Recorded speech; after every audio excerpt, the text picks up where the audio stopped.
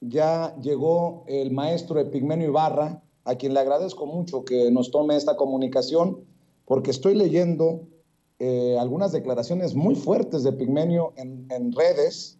Yo creo que Epigmenio es uno de los que, como yo, está muy contento porque fue un promotor de la consulta popular para juicio de expresidentes y lo que ayer como bomba se dio a conocer en la mañanera, seguramente lo tiene también muy contento con la posibilidad, la esperanza de que se haga justicia. También te escuchaba con Ciro Gómez Leiva, Epigmenio, y uno de sus tweets quedará ahí para la historia. ¡Qué cinismo! Ahora resulta que el tal Alito ya salió en defensa de Peña Nieto ofreciéndole su respaldo y solidaridad. ¿Con qué calidad moral? Te saludo con mucho gusto, Epigmenio, te mando un abrazo.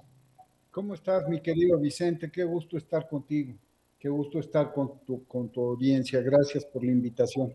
Pues bien, en efecto, este, más que contento, estoy esperanzado en que realmente eh, esto llegue a fondo. Ya lo había iniciado Santiago y ahora Pablo lo continúa y se trata de, explorar pues la escandalosa riqueza de un hombre que vive como rey en España.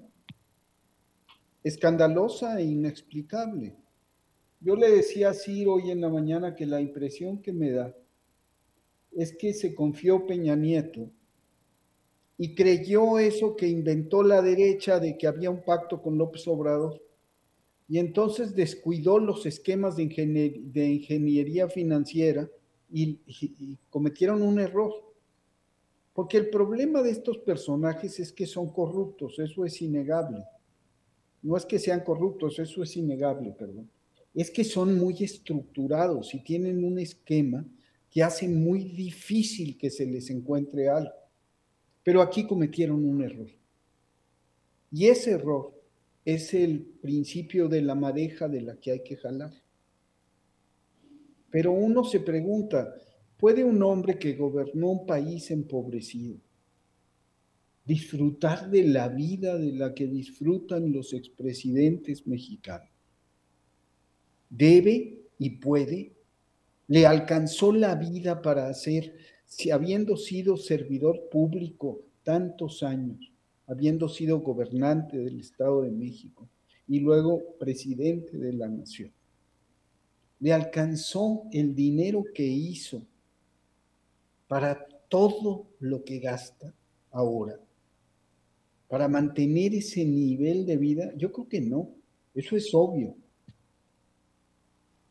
La presidencia en el periodo neoliberal era el epicentro de la corrupción definía el sistema.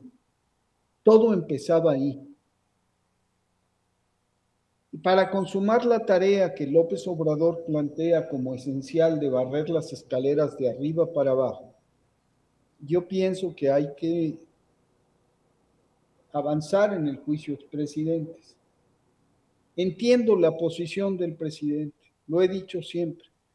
Él es un jefe de Estado, y su tarea es promover la reconciliación. Y este asunto es un terremoto en el sistema político mexicano. Sí, Cedillo investigó a Salinas. Esto es otra cosa. Esto no es una vendetta. Esto es un acto de justicia. Y que la justicia toque a personajes que ocuparon la presidencia de México es un terremoto para el viejo régimen. Es el puntillazo para ese régimen. Y creo que es preciso dárselo, porque para cambiar, para acabar con este régimen, votamos los mexicanos en 2018. Volvimos a votar en 2021 y volvimos a votar este mismo año. Entonces, qué bien que avance esto, qué bien que se desnude la operación de la empresa, del hermano, y cómo van la danza de los millones de aquí para allá. Porque hay más, hay mucho más. Santiago lo sabe, lo sabe Pablo, lo sabe. O sea, es difícil de, armar los expedientes porque, porque son elusivos, porque son muy inteligentes. Pero, pero se les va a acabar, se les va a acabar. Y si los siete millones de votos de la consulta no fueron vinculantes en términos de ley, sí lo son para mí en términos morales. Y así como lo he dicho de Felipe Calderón, de que yo no lo voy a soltar hasta que lo agarre, tampoco voy a soltar a Peña Nieto, ni por esto de la corrupción, ni por Ayotzinapa. Por cierto, mi querido, por cierto, mi querido Epigmenio,